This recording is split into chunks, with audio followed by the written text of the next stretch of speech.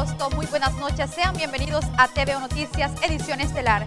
Tenemos importante información que compartir con todos ustedes. Iniciamos conociendo nuestros titulares. El Ministerio de Salud confirma un aumento de casos de dengue en el país, pero descarta una epidemia. Además, la Policía Nacional Civil de la Unión incauta varias porciones de droga. En más información, el fiscal general pidió a los diputados superar el veto presidencial que frena una reforma para darle autonomía técnica a la unidad de investigación financiera de la institución. Continuando, capturan al autor intelectual y material de un triple homicidio ocurrido el pasado mes de abril en Cacaopera. Para finalizar, la Policía Nacional Civil de San Miguel realiza campañas de concientización a estudiantes de un centro educativo. Esto y más a continuación en TVO Noticias, emisión estelar. Iniciamos con el desarrollo de la información. Y el Ministerio de Salud confirma un aumento de casos de dengue en el país, pero descarta una epidemia.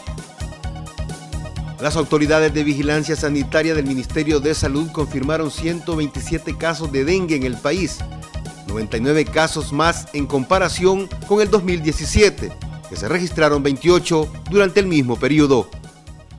Pese al incremento, se descarta una epidemia por esta enfermedad. Cuando nosotros pensamos que somos una población de 7 millones de habitantes, dividida en 14 departamentos y en 262 municipios, esto implica que en lo que va del año no tenemos ni siquiera un confirmado por cada municipio. Son menos los casos confirmados que municipios en el país. Esto da cuenta del notable avance que hemos tenido en, este, en esta materia. Según Salud Pública, los departamentos con mayor incidencia de dengue son Santa Ana, con 96 casos confirmados, Chalatenango, 21 casos confirmados y 5 en San Salvador. El resto se han registrado en Aguachapán, Sonsonate y San Vicente. Vamos a hacer inspecciones con ayuda de los comités de salud y seguridad ocupacional de todos los posibles criaderos que se tienen, las pilas y los barriles y cualquier contenedor de agua que pueda estar eh, acumulando larvas del zancudo.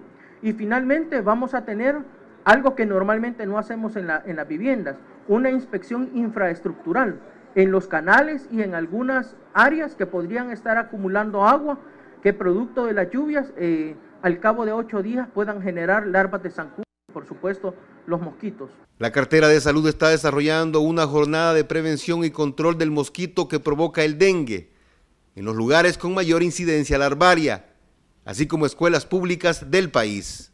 Este viernes arrancó una campaña en su fase institucional.